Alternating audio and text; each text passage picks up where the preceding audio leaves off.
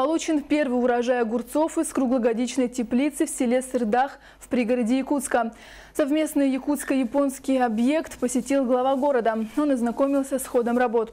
Семена огурцов высадили 8 августа. До конца года более полутора тысяч кустов принесут порядка 11 тонн урожая. В первую очередь, как и помидоры, огурцы поставят в детские сады. Затем они поступят в продажу в магазины ЛННР, Поярков и ЕХК. Стоимость огурцов будет определена по фактической рыночной цене. Сегодня на площадке идет подготовка к строительству еще двух теплиц. Мы уверены, что в этом году будет вот заложен фундамент на теплице общей площадью 1 гектар.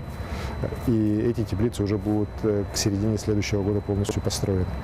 Вот. А также потом уже в следующем году начнется строительство третьего этапа общей площадью 2 гектара. И до конца э, следующего года мы планируем, что будут построены уже в полном объеме вот все наши, весь наш тепличный комплекс общей площадью 3 гектара.